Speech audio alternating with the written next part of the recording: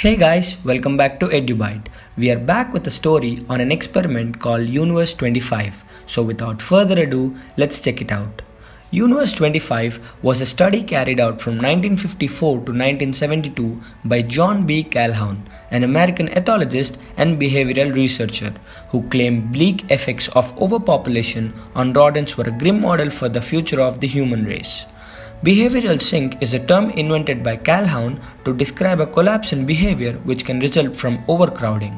Calhoun spent years perfecting his methods and repeated this experiment 25 times in different scales and noted ominously identical results every time. Hence, this is called Universe 25. Calhoun created the perfect mouse universe to conduct his study, which clearly looked like a rat utopia, which means a rat world which is perfect and has everything. In Universe 25, a population of mice would grow within a 2.7 square meter enclosure consisting of 4 pens, 256 living compartments, and 16 burrows that led to food and water supplies. This facility was enough for more than 3000 mice to live comfortably. With a plague free environment, a plenitude of comforts, and no predation, with an unlimited supply of consumables, the mice would enjoy all the luxuries equivalent to the modern human life. Calhoun initiated the experiment with four pairs of healthy mice, which were set loose into the enclosure to begin the new society. During the first 104 days, a phase Calhoun dubbed the strive period, the mice adjusted to their new surroundings, marked their territory, and began nesting. This was followed by the exploit period, which saw the population double every 55 days. By the 315th day, Universe 25 contained 620 mice. But there seemed to be a problem. Despite the abundance of space throughout the enclosure, which was capable of housing 3000 mice, most mice were crowded select areas and eating the same food sources. This act of eating, as it turned out, came to be viewed as communal activity, which caused most of the mice to favor the same few compartments. All of this huddling, however, led to a drop in mating, and the birth rate soon fell to a third of its former level. A social imbalance also took place among the mice. Let us take a look at the social status in Universe 25. By the day 315, behavior disparities between the males of high and low status became more pronounced. Those at the bottom of the pecking order found themselves spurned from the females and withdrew from mating altogether. Having no roles to fulfill within the society of mice, these outcast males wandered apart from the larger groups to eat and sleep alone and sometimes fight among one another. The alpha males, by contrast, became more aggressive and pugnacious, often launching into violence with no clear provocation or motive. At times, these males would roam around and indiscriminately rape other mice, regardless of gender. Meanwhile, the beta males, those ranked between the aggressive alphas and outcast omegas, grew timid and inert and often wound up being the passive recipients of violence. In several instances, bloodbaths ended up with a cannibalistic feast for the victors. With male mice abandoning their traditional roles in Universe 25, the females were left to fend for their nests. Consequently, many females adopted more aggressive form of behavior, which would sometimes spill into violence towards their young offsprings. Others would refrain from motherly duties altogether, banishing their unraised litters and withdrawing from further mating, resulting in serious consequences.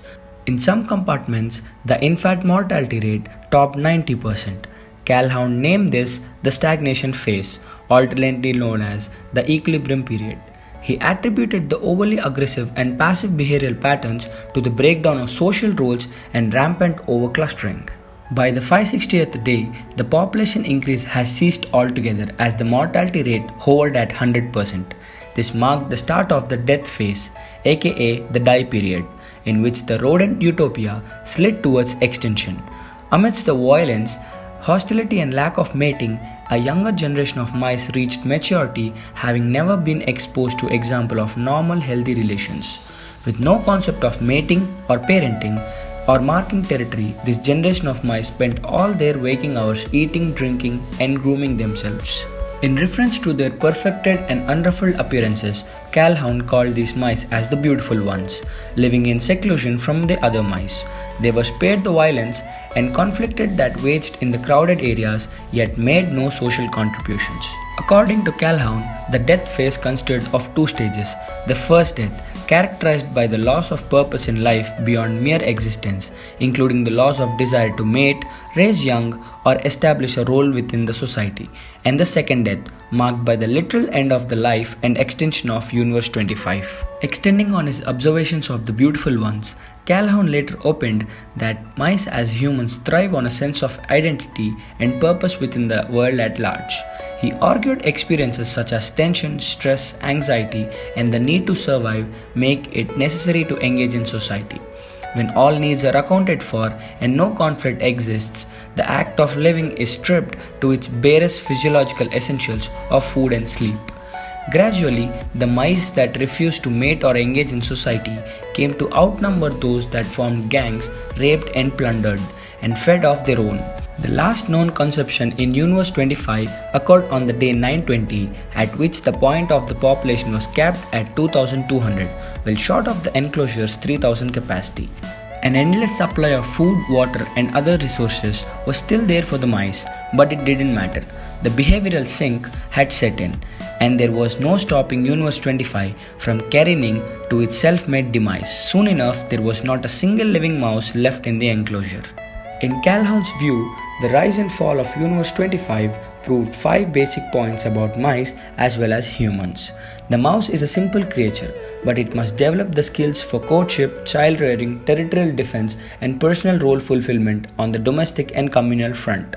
If such skills fail to develop, the individual will neither reproduce nor find a productive role within the society. Number 2. As with mice, all species will grow old and gradually die out. There is nothing to suggest human society isn't prone to the same developments that led to demise of Universe 25. Number 3. If the number of qualified individuals exceeds the number of openings in society, chaos and alienation will be inevitable outcomes. Number 4. Individuals raised under the latter conditions will lack any relation to the real world. Physiological fulfillment will be their only drive in the life. Number 5. Just as mice thrive on a set of complex behaviors, the concern for others developed in post industrial human skills and understandings is vital to man's continuance as species. The loss of these attributes within a civilization could lead to its collapse. Thank you for watching the video. If you like the video and want more informative content like this, please subscribe to the channel and click the bell icon for all the updates. You can also let us know your thoughts in the comment section below.